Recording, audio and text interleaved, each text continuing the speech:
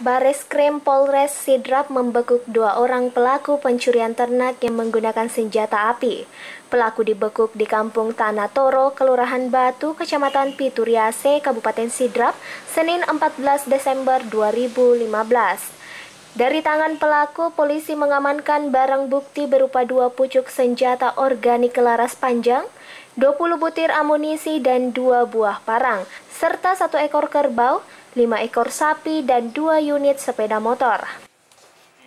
Pada tanggal 14 bulan 12 2015 sekitar pukul 4 pagi uh, unit Resmob Polda Sulsel dipimpin oleh Kanit Resmob Kompol Yadin beserta unit lapangan Polresidap melakukan penggeledahan di Kampung Tanatori, Kelurahan Batu, Kecamatan Pituriase, Tanah Toro ya. Tanah Toro. Selain dua orang tersangka yang berhasil diamankan, polisi juga masih melakukan pencarian terhadap salah satu pelaku yang berinisial M karena berhasil melarikan diri saat dilakukan penangkapan dan sempat dilakukan penembakan karena berusaha melawan saat dilakukan pengajaran.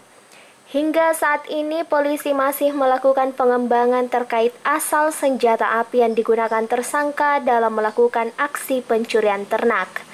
Dari Kabupaten Sidrap, Wahyu Pare TV mengabarkan.